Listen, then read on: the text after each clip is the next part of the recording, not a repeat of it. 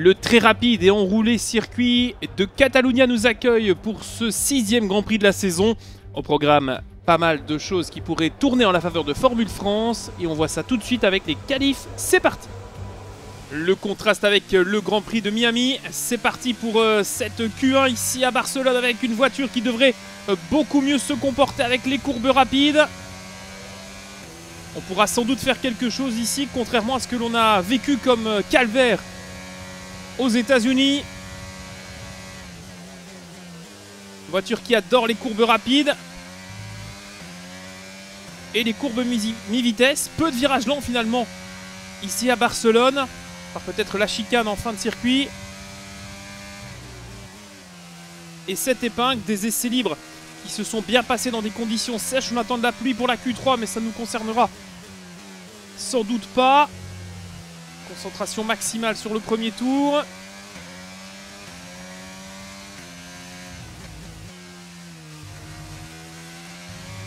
On peut faire euh, du très très fort. Attention les dégâts sur le fond plat. Ouais, on a un peu perdu. On a un petit peu perdu là dans le premier partiel.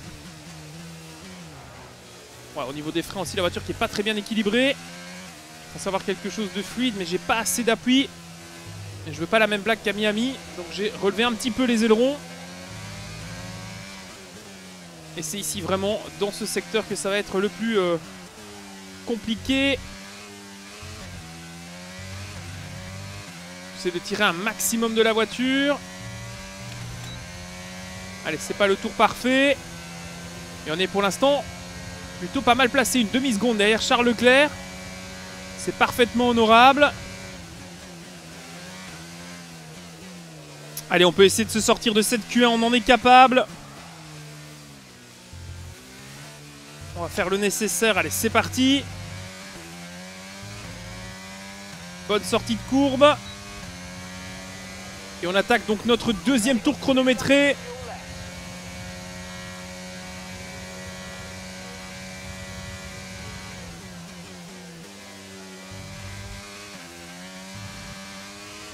On va tenter d'être un peu plus rapide.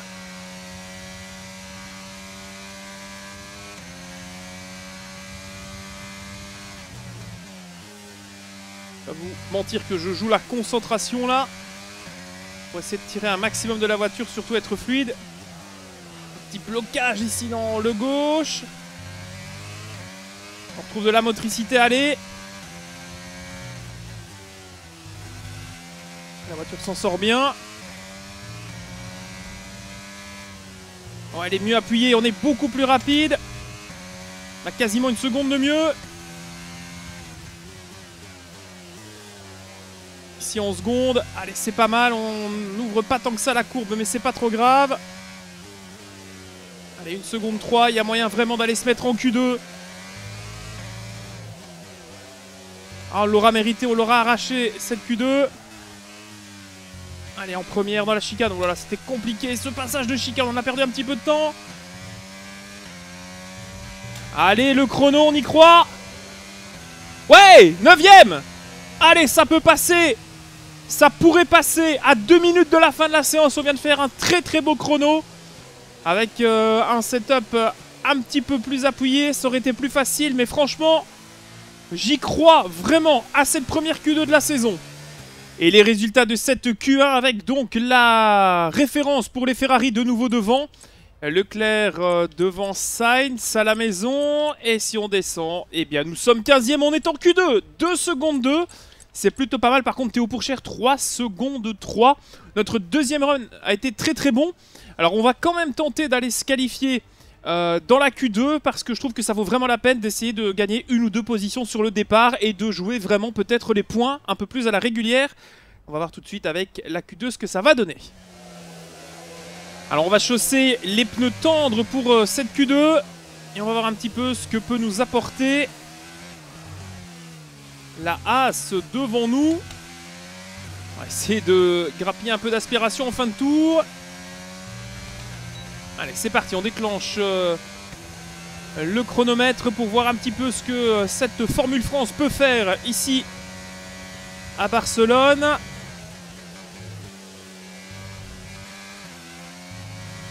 On est vraiment bien sur les courbes rapides. Et on a bien la As en, en ligne de mire comme référence. C'est pas plus mal.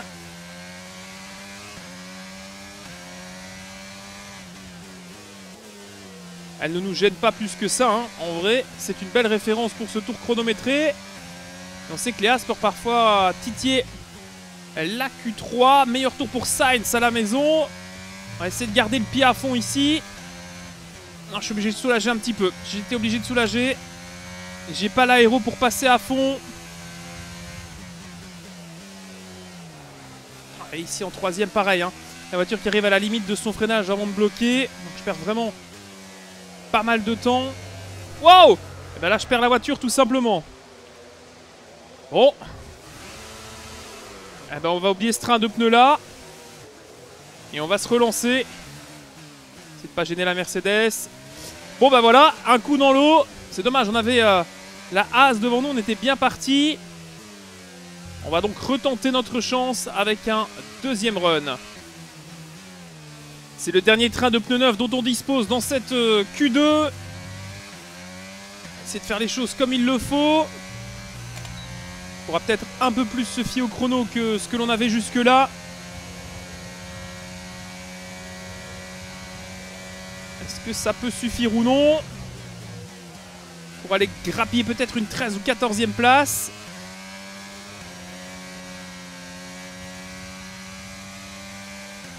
On n'est pas si mal avec l'Alpha Tauri qui va nous laisser le chemin libre. J'essaie d'être vraiment le plus coulé possible. J'avais eu un blocage ici lors de la Q1. Ça n'est pas le cas cette fois-ci. On va peut-être pouvoir faire un tour un petit peu meilleur malgré tout. Pas de coup de frein ici, on place juste la voiture. Le tour est peut-être pas si mauvais que ça finalement.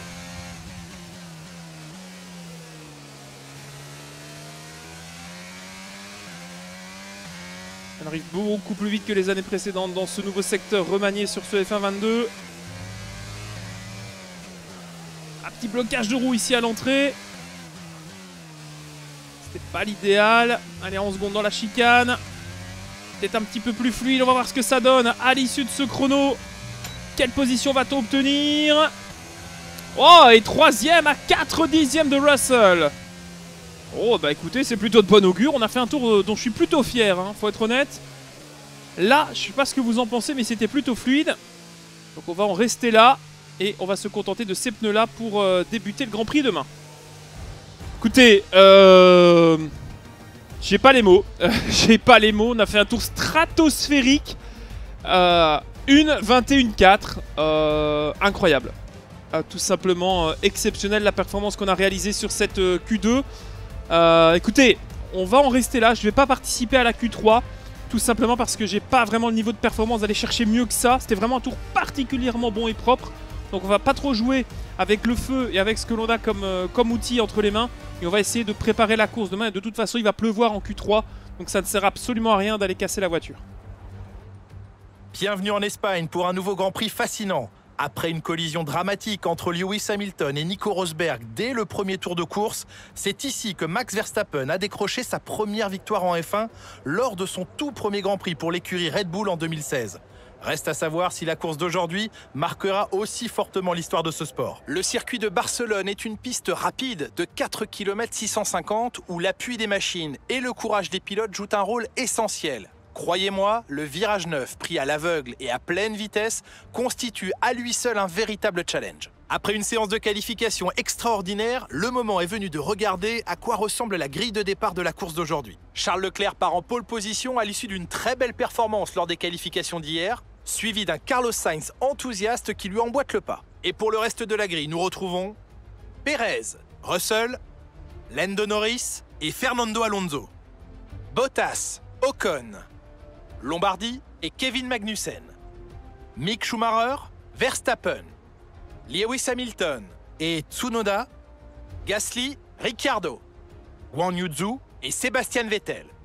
Stroll, Albon, Latifi et Théo Pourchère. Ça y est, il est l'heure du départ. Tournons-nous vers la grille pour la course du jour. Avec moi aujourd'hui, bien sûr, se trouve Jacques Villeneuve. Nous devrions parler d'Alfa Romeo. Que pensez-vous de leurs résultats pour l'instant? On peut dire qu'il règne une très bonne ambiance au sein de l'équipe. Tout le monde affiche un moral à toute épreuve et semble s'amuser. Cet état d'esprit a contribué au succès obtenu cette saison.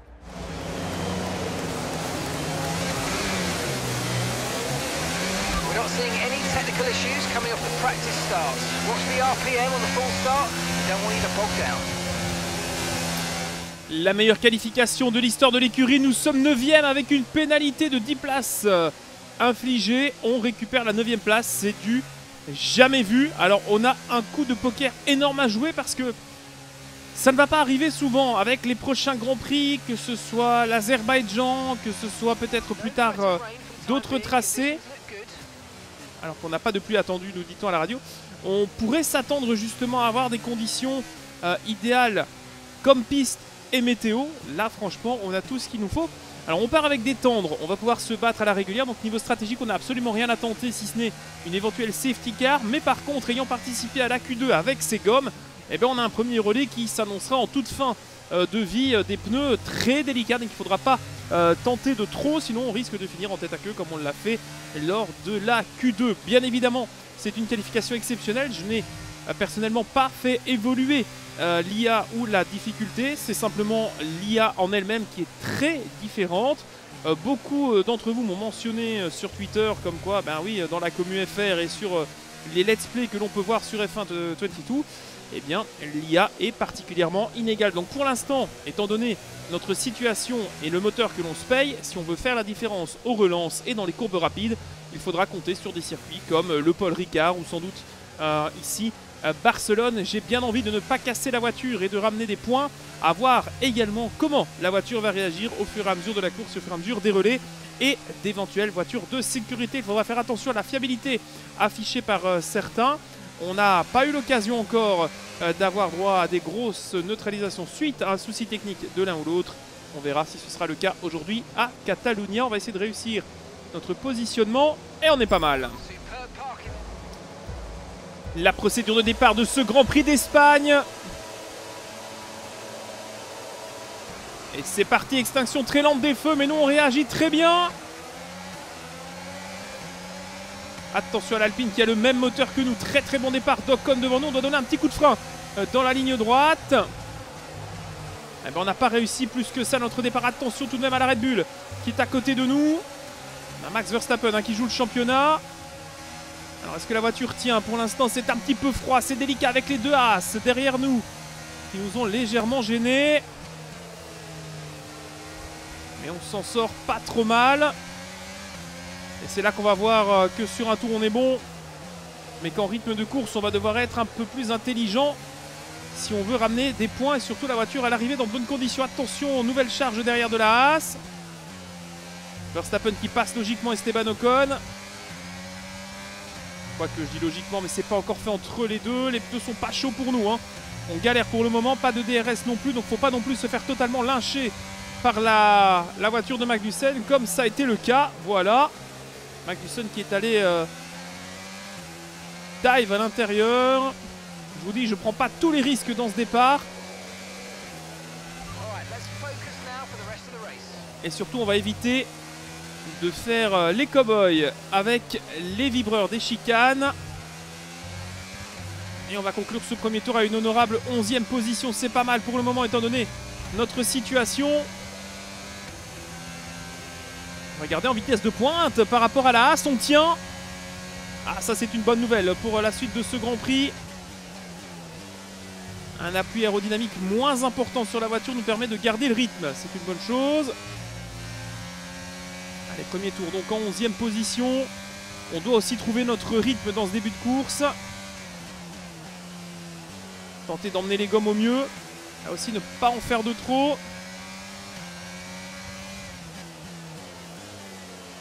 Pas bloquer de manière intempestive les gommes. On peut être euh, un peu plus à l'aise en fin de relais.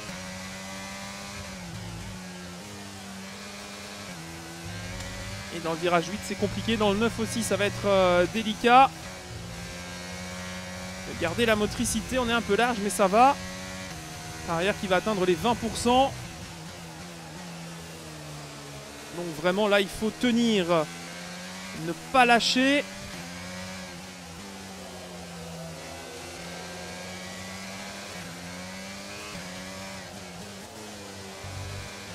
Quelle difficulté là pour nous.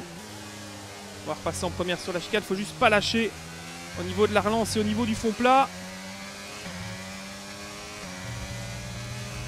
Et on ressort bien mieux.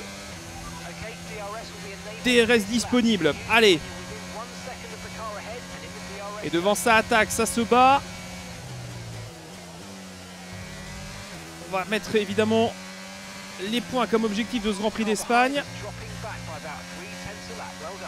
Allez, on tourne 3 dixièmes plus vite que la voiture de Schumacher derrière nous.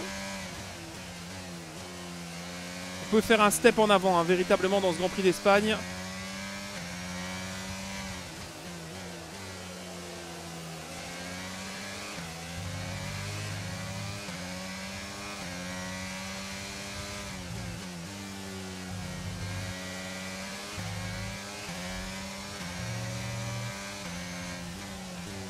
Le sous-virage. Il n'y en a pas le DRS. Schumacher, lui, va l'avoir. On va se protéger du pilote allemand. On rappelle qu'il y a Hamilton hein, qui est derrière avec la Mercedes. Et on commence à avoir des petites dérobades du train avant. J'ai des pneus qui euh, déch- déchargent un petit peu la voiture à mi-virage. C'est le moment de basculement du fonctionnement des gommes. C'est là qu'on doit résister et Schumacher qui va avoir le DRS. Ça, ça va être très compliqué pour nous. Schumacher qui va aller rechercher une position. Hamilton, on l'empêche de venir créer une troisième ligne. On va reprendre l'avantage sur Schumacher. Allez, on passe. Et on repasse le pilote allemand et derrière Hamilton pourrait aussi prendre l'avantage, mais ce ne sera pas le cas cette fois-ci.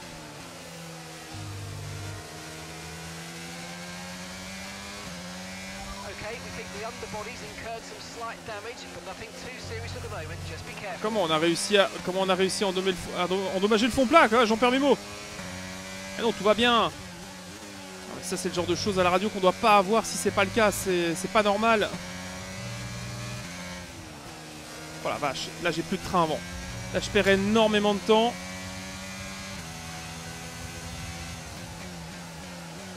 Alors, mon avantage, c'est que pour l'instant, Schumacher se bat avec Hamilton.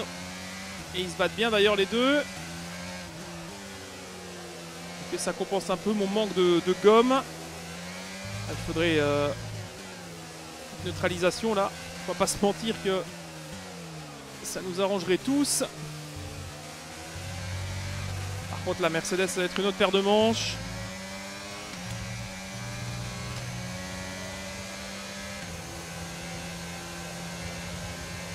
Il va essayer à l'extérieur. Schumacher, on va l'empêcher de passer. On a l'avantage pour l'instant à l'intérieur du premier virage. Et on reste devant Hamilton. Et Schumacher repasse aussi. Grosse bagarre. On perd du temps évidemment par rapport aux monoplaces de devant. Mais on défend euh, chèrement notre peau. Quelconque abandon devant. Et c'est un point. 5 tours couverts avec ses gommes tendres qui commencent à souffrir 34% à l'arrière gauche. J'aime autant vous dire que par rapport à d'habitude, c'est bel et bien les pneus et non la consommation que l'on va surveiller.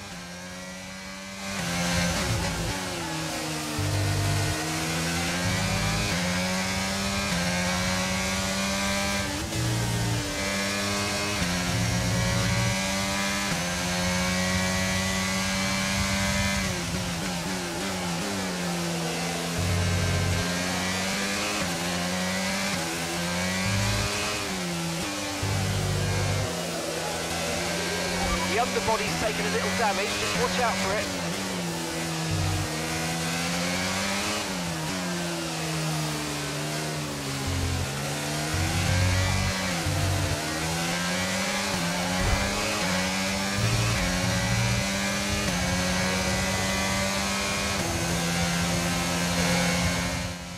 Fenêtre d'arrêt au stand ouverte. Attention, drapeau jaune. On peut pas redoubler. On peut pas redoubler avec le drapeau jaune et c'est une Ferrari qui est arrêtée ou c'est une Alpha? C'est Bottas. Alors est-ce qu'on va avoir droit à un safety car? Drapeau vert avec euh, l'Alfa Romeo de Valtteri Bottas arrêté dans le deuxième virage. Allez, ce serait bien une petite neutralisation là pour euh, stopper.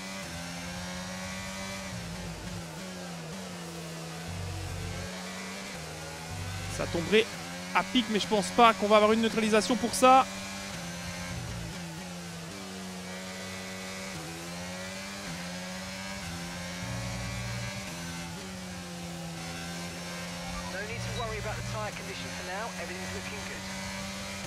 Tire are looking good. Eh ben dis donc, on n'a pas les mêmes télémétriques que l'ingénieur, hein, parce que moi, ça look pas good du tout.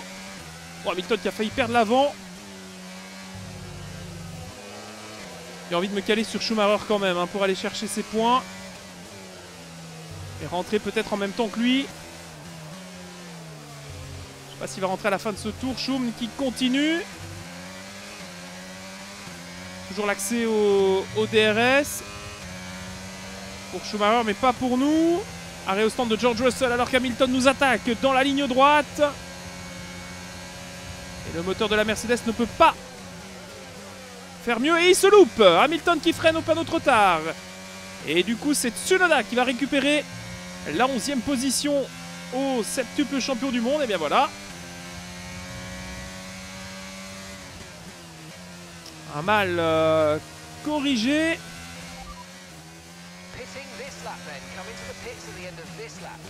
Allez, on va rentrer à la fin de ce septième tour de course. En espérant que les médiums euh, tiennent le rythme dans le deuxième relais. Aussi bien que les tendres n'ont fait leur travail. Pour l'instant, aucun dégât sur la voiture. Des dégâts aussi euh, au niveau du train arrière gauche. 45%, c'est quand même pas mal. Alors Tsunoda qui est à 6 dixièmes, qui va avoir le DRS, mais ne pourra pas nous attaquer dans le virage 10. J'espère juste que Schumacher va être un petit peu gêné dans sa manœuvre au stand.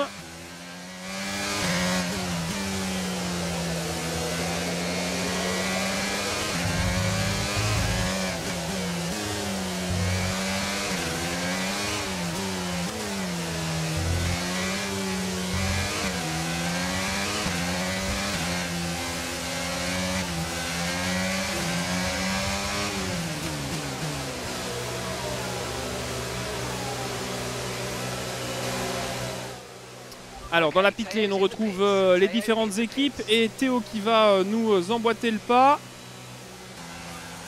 Ouais, très bon timing d'arrêt. Allez les gars. Allez, 2 secondes 4, c'est vraiment pas mal. Et on repart juste derrière Schumacher.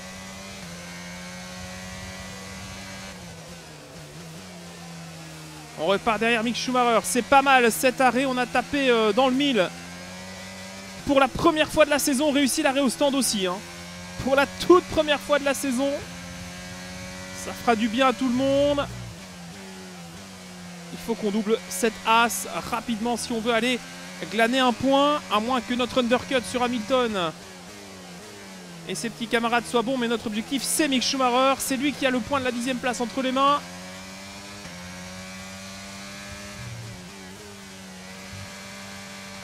Et là, pour l'instant, si on souffrait d'une différence de pneumatique, c'est désormais corrigé. C'est pas encore chaud bouillant hein, quand même.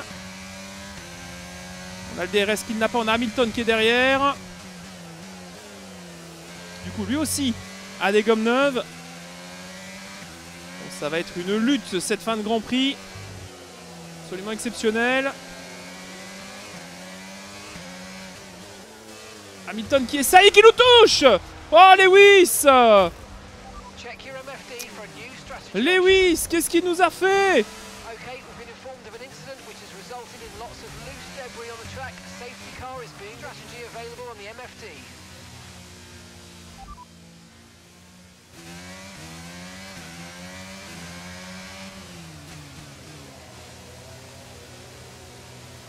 Ils vont me mettre des durs. Est-ce qu'ils vont me mettre des durs C'est une catastrophe s'ils nous remettent des pneus durs et, pas des médiums. Je le sens bien. On a fait un bon arrêt et on va monter des durs. On n'a plus que ça. On n'a plus que ça. C'est une catastrophe. Cet accident avec Hamilton. Oh, et Théo qui est bloqué derrière. Oh là là, c'est une catastrophe.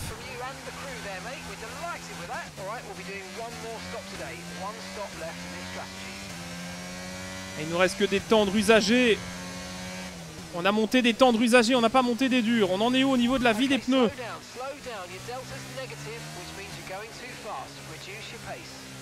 Oh, 8% et 9%. Et la safety car qui est là. Bah écoutez, on va attendre que les choses se remettent un peu en place parce que là c'est un sacré cafarnaum quand même. 16. We got P16. Hamilton's ahead of you, to the car in front is 11.5 seconds. Okay, they're on fresh hards. That's Stroll behind you. Our gap behind is 1.7 seconds. They're on fresh softs, and your pit window opens in two laps' time. Okay, seven laps to go. Safety car in this lap. Safety car in this lap. C'est un scandale. C'est un vol. C'est un scandale.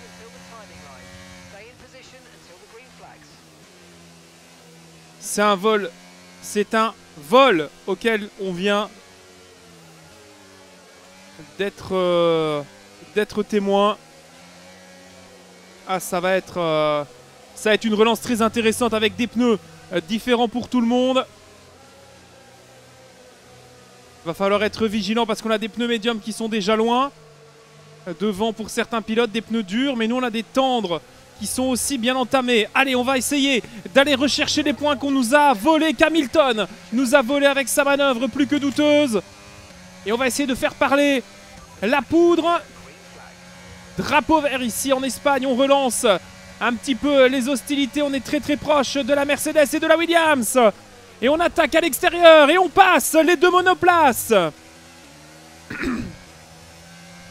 Deux positions de gagné sur cette relance. On a profité de nos pneus tendres. Alors ceux-ci vont s'effondrer dans les prochaines minutes. Il faut absolument que l'on prenne tous les risques face au pilote en pneus durs. Il est temps complètement arrêter Vettel.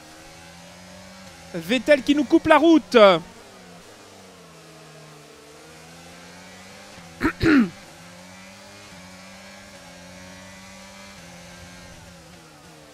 Ah, Milton qui va pas nous harponner. Deux fois sur la même après-midi quand même. Et on risque d'avoir quelques tours sous euh, DRS assez intéressants en fin d'épreuve.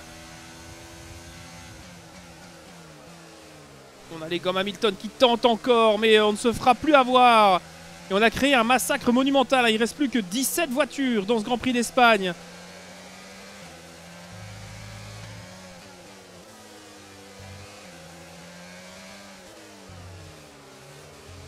Allez, la chicane. On essaie de ne pas se laisser distancer par nos adversaires directs.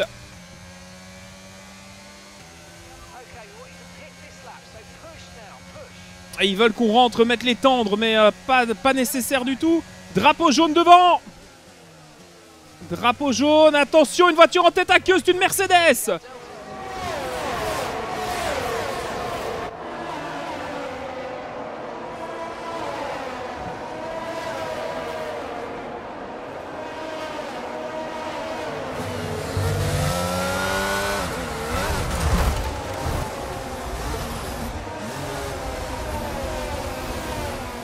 Et voiture de sécurité Nouvelle pace car sortie.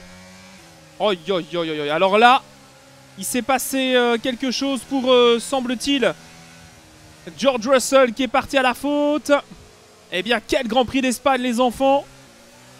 On est en 13e position. On a les pneus pour peut-être aller chercher des points. 28% sur le train arrière. Le fond plat endommagé par Hamilton. Et une nouvelle neutralisation de ce Grand Prix. Alors est-ce qu'on rentre Monter des pneus tendres, neufs Je pense que c'est pas le bon call. Parce qu'on n'en a plus. Et les médiums ne feront pas autant de différence. Donc on va juste tenter de conserver ces pneus tendres pour un rush final. Et on n'aura sans doute pas de DRS. Et ça c'est de nouveau une très mauvaise pioche pour nous.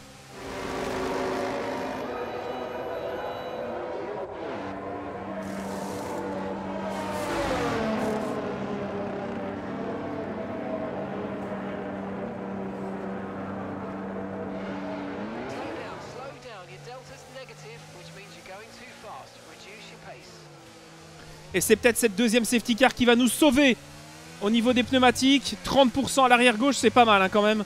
comme taux d'usure. On va essayer de ne pas passer la ligne avec un delta négatif. Et voilà, on va pouvoir se remettre maintenant en file. On va rester ensemble peut-être pendant le début de cette voiture de sécurité parce que là, franchement, il va y avoir de l'info.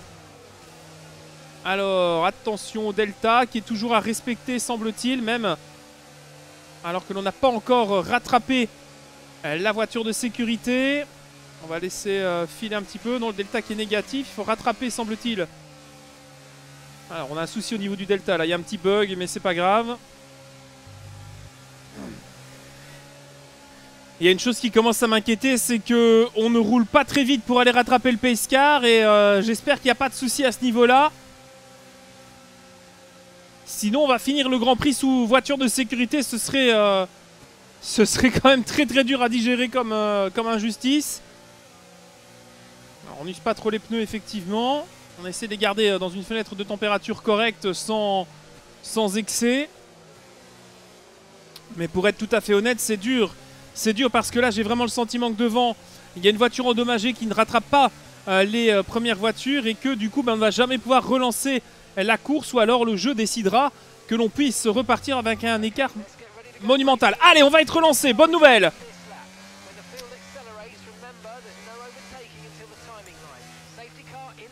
Allez, l'objectif, le point de la dixième place. On peut aller chercher cet objectif. Concentration maximale. Allez, on y croit. On a les pneus. On les a toujours jusque-là, les pneus. Ça devrait suffire. Relance de l'ERS à 100%. On va pouvoir attaquer très très vite. On va avoir deux tours, donc plus de DRS. Donc on va attaquer à l'ancienne. Voilà. On va reprendre le rythme de course et on s'est bien euh, tous rapprochés. Donc ça, c'est la bonne nouvelle. Et on attaque la chicane avec le RS et on peut aller chercher Déjà, l'Aston Martin de Sébastien Vettel à peine. Le dernier virage passé, on attaque les deux derniers tours de ce Grand Prix. Blotti à l'aspiration de l'Aston Martin et de son moteur Mercedes. On va décaler au bout de la ligne droite et on passe. Le quadruple champion du monde s'est fait. Allez, on passe Vettel. On reste avec le RS activé pour la relance parce que ça glisse beaucoup. Les gommes sont en train de tout doucement nous lâcher quand même. On le sent hein, dans le volant, ça vibre, ça tremble de partout.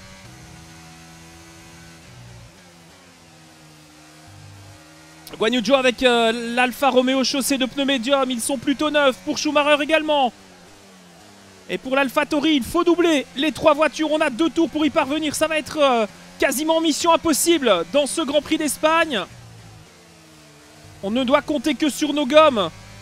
Et le peu de vie contenu en elles pour euh, changer peut-être le résultat final de ce Grand Prix.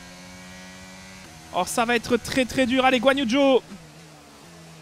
qui est prenable, parfaitement prenable. Il faut juste nous laisser le temps d'aller chercher la As et ce point que l'on mérite tant après tout ce qui nous est arrivé cet après-midi.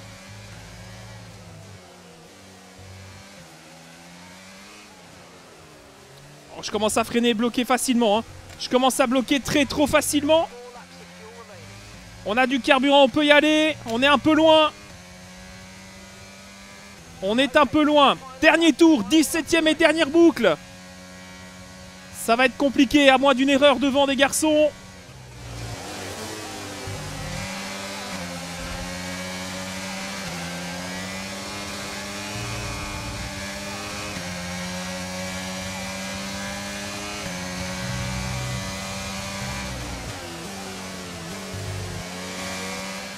Et Joe qui glisse aussi. Mais ils ont des médiums plus neufs que nous. Hein. qui nous aura piégé, c'est la Q2.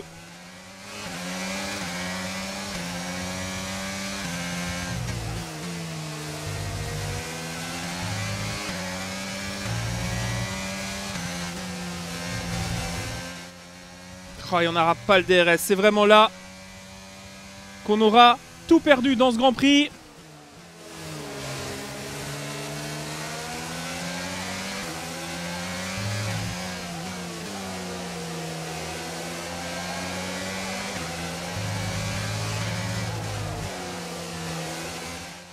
Et on ne pourra pas... On ne pourra pas aller chercher le pilote chinois et son alpha. On n'aura pas le temps de faire la différence et on va terminer à une très punitive 12e position. Ah, quel dommage Quel dommage Okay, pick up rubber and bring it home.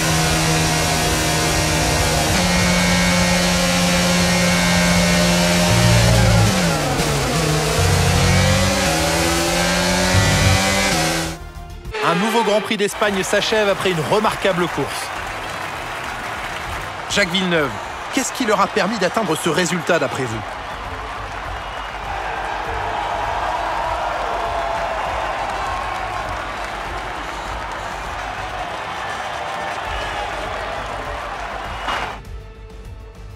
En regardant le podium, impossible de manquer cette combinaison rouge reconnaissable entre toutes. Une victoire de classe mondiale aujourd'hui pour une équipe mythique. Ferrari est de retour.